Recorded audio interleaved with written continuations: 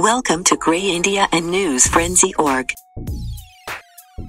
One of the known places for beauty pageant winners, Venezuela, has elected its winner of the Mr. Supranational Championship. The winner has a charming face and brighter smile like a star in the galaxy or even brighter than it. He is William Badell, the new Mr. Supranational Venezuela. William was elected on May 27, 2021 evening as the Mr. Supranational Venezuela 2021 at the same glitzy and glamorous event. He was the Mr. Fitness Special Award winner also at Mr. Supranational Venezuela 2021.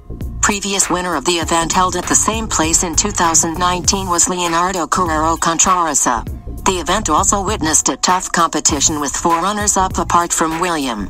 Their names are as follows Juan Pablo dos Santos as first runner up, Juan Alberto Garcia as second runner up, Francesco Piscitelli as third runner up, and Gianfranco Petit as fourth runner up. William Badell, who is now the new Mr. Supranational Venezuela, is a model and flight attendant.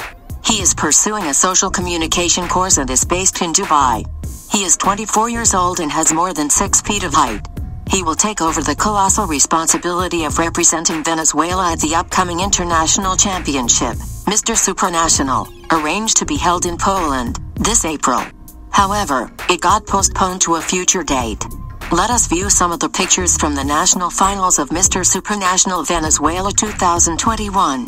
Globovision was the media partner of the competition. Photography was done by Guzman Alberto Salcido Mora.